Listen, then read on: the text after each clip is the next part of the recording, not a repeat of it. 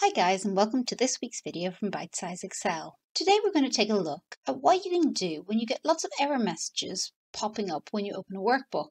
This can be quite annoying and is typically to do with links to other workbooks that Excel can no longer find. So in this example, I have a workbook that I've copied from elsewhere on my network and when I open this workbook up, I get lots of error messages popping up saying that it can't connect to certain file paths.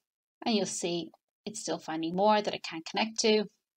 And eventually my workbook opens, but not only did all those error messages pop up, but I've also got lots of ref errors throughout. Now this is typically because you've got file paths in your workbook, so I happen to know in this cell here, I've got reference to a file path that no longer exists.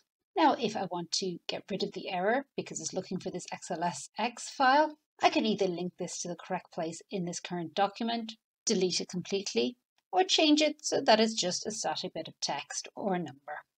Now, if you're not too sure where in your workbook these are, you can find them by hitting Control F and then searching for XLS. That's what I usually do. You can also do .xls. And if you've got more than one sheet in your workbook, you would change this to workbook. And if you hit find next, you'll see it's found that one there. And that is the only one in my workbook. A way to find out what references you might have is to come to your Data tab and hit on, on Edit Links, and you'll see that it's looking for these two XLS books. You can break those links so it's no longer looking for them. However, you'll still have that reference within your workbook, and you should really search through to remove it. A way to avoid getting these errors in the first place is to make sure that when you're copying cells or tables from other workbooks, that you copy as a paste special. Now, I'm just going to delete this reference for now However, there is something else in this workbook that means it will still be searching.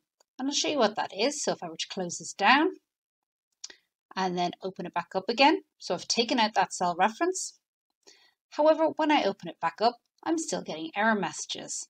Now this can be really frustrating because you've searched, you're looking for any XLS files, you can't find any. So where are they?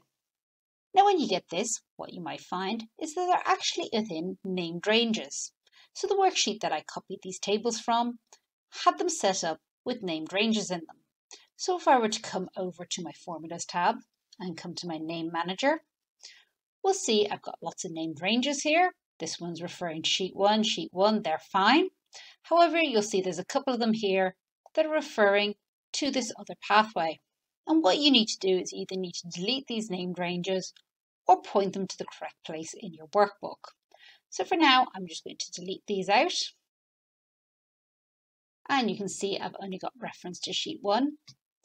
Now if I save it, close it down, and then reopen it, this time when I open it, I shouldn't have any error references anymore. I do have these name errors because these cells are pointing to named ranges, but I could fix that and tidy it up.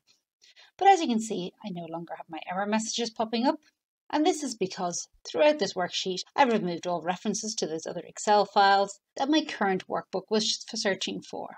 So this is just a relatively quick tip. It's something that I find quite frequently at work where people have used other workbooks as a basis for a new worksheet and they've never gone through and broken all these links or tidied it up so that it's only referring to things that are relevant to the workbook itself. Pet peeve of mine, I do like it to be tidy, and it really winds me up when I'm opening up worksheets and getting all these error pop-ups when I open them up. I'd love to know if you find this tip useful and also what you'd like to see in future videos. Remember to hit that like button, subscribe to the channel, and I do look forward to seeing you in future videos.